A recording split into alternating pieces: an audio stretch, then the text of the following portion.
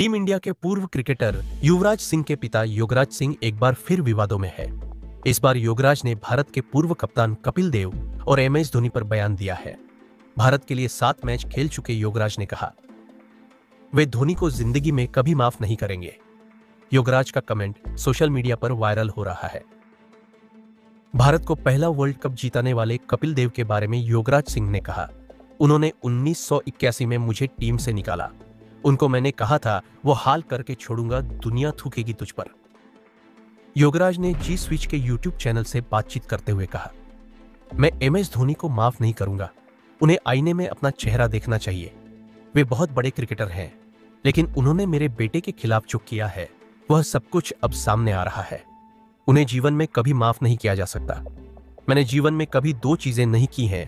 पहला, जिसने मेरे लिए गलत किया है, मैंने उसे कभी माफ़ नहीं किया है। और दूसरा, मैंने अपने जीवन में कभी भी उन्हें गले नहीं लगाया है, चाहे वह मेरे परिवार के सदस्य हों या मेरे बच्चे। कपिल देव के साथ उनके रिश्ते तब से तनावपूर्ण हैं, जब उन्हें 1981 में भारतीय टीम से बाहर कर दिया गया था। योगराज का मानना है कि कपिल ने उन्हें अपने प्रतिद्वंद्वी के रूप में देखते हुए टीम से बाहर कर दिया।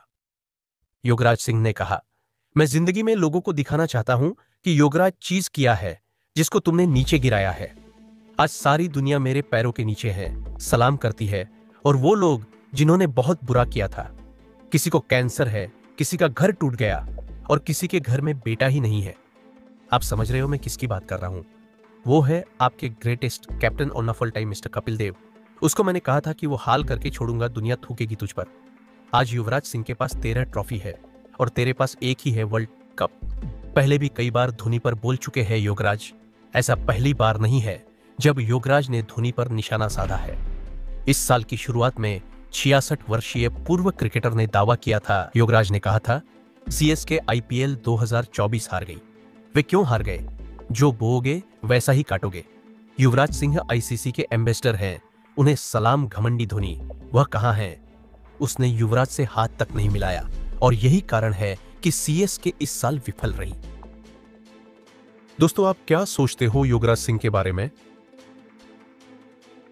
योगराज सिंह क्या मानसिक रूप से बीमार हैं या उनके अंदर जलन की भावना है?